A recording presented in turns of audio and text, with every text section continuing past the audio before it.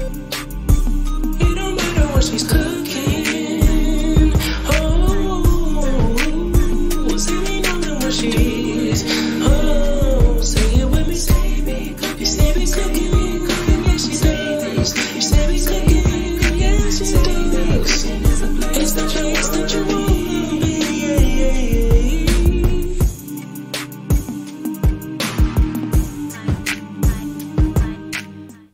y'all, remember that time I stuffed that catfish? Well, let me show y'all how I did it.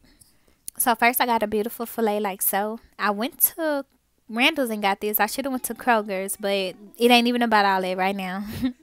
so I got some blackening seasoning um, that I actually made myself. I'm gonna drop in the comments um, how you can make it yourself, which is pretty easy. Or I'm gonna drop and I'm going to drop in the comments um, a few blackened seasonings that I prefer. Okay, so you know I'm not gonna lie to y'all. When I'm doing anything with blackened seasoning, I really do not have a limit. I just make sure that it's fully covered in the seasonings, only because um, it really doesn't have a taste to me. But let's go ahead and continue. So you're gonna set them pretty little fillets to the side, and we're gonna go ahead and work on the shrimp. So what I did was melt one tablespoon of butter. With the same blackened seasoning that I use on the fillets, I went ahead and put on the shrimp, and I also added a little parsley to it to give it a little, you know, a little look or whatever. I did add some minced garlic to that as well. I forgot to tell y'all. And also something called roasted garlic that I got from um, McCormick. I'll also add that in the comments as well. So this is the result that we're looking for. Um, I usually let it cook on um, three minutes each side. But, you know, for the visuals, sometimes I got to play in them or whatever. But when I'm cooking it regular, the only thing that I do is, you know, just let it sit for like three minutes on each side. So now that we got the shrimp out the way, let's go ahead and work on the filling. Okay, so we're going to use cream cheese. We're going to use um, the packaged crawfish tails. But the only thing different I did was I rinsed and I drained them. We're going to use cooked crab meat and I use the lump instead of the claws. And then we add the shrimp in. We're going to mix it up real good. And I did season that as well. I'll drop that in the comment. And don't be like me, y'all. Go ahead and soften that um that cream cheese up. You know you're going to use it. Don't be last minute like me. So this is the effect after I had everything mixed up all good. And then I added shredded pepper jack cheese. You can choose which cheese that you want to use. I prefer the pepper jack cheese. I would try mozzarella as well and maybe some parmesan, maybe a mix. But um, I use pepper jack cheese this time. It was just a spur of the moment idea.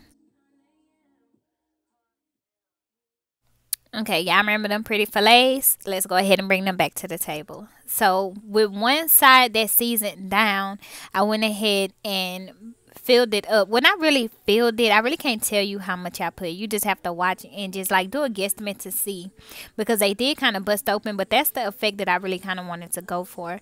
And if I was y'all, I would like dump a little cheese on top of this.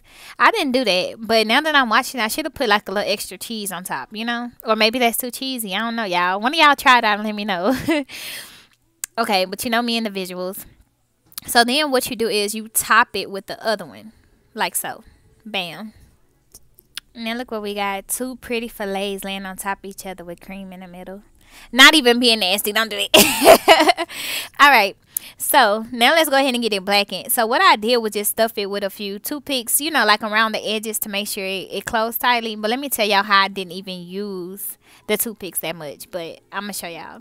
So you're going to season your one tablespoon of butter. You're going to add your fillets in. And you're going to let it cook on each side. I let them cook approximately maybe four or five minutes per side. And I had it on medium heat. This is how it looked after I flipped it. I did remove the toothpicks because the cheese is going to kind of hold it together. Um, so when I flipped it, I just used two spatulas. Y'all got to get it in how you live. But you know you can also blacken your fish by baking it. But I like the skillet effect better. So then I went ahead and put it um, in the oven. And what I did was I didn't have any lemons, no whole lemons to do the lemon wedges. So what I did was like kind of put a little lemon juice on top of it um, so it doesn't dry out put a little parsley on it, and then I went ahead and tossed that baby in the oven. So disclaimer, since this was my first time doing something like this, um, I just kept constantly checking it. So you'll keep seeing the development um, as the slides continue because I was just checking on it, you know, to see and waiting until it got to where I needed it to go. But I think I baked it for a total of 30 minutes. But I don't want to lie to y'all. That's what I don't want to do. So if you do it, kindly drop in the comments and let me know how long you baked it when it was fully cooked. I really appreciate it.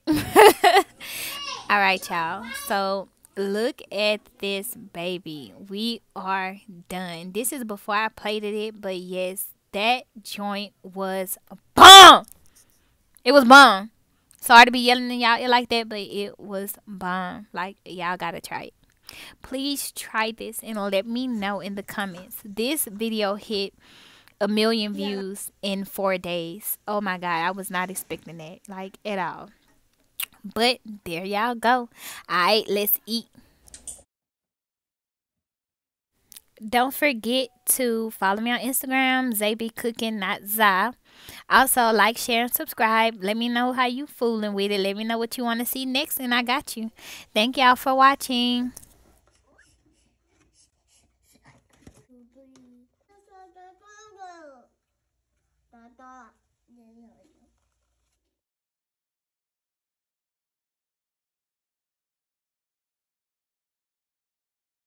Wait. Oh, boy.